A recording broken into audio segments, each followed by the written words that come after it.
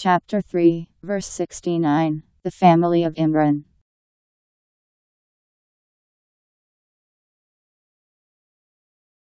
The party of the people of the scripture long to make you go astray, and they make none to go astray except themselves, but they perceive not.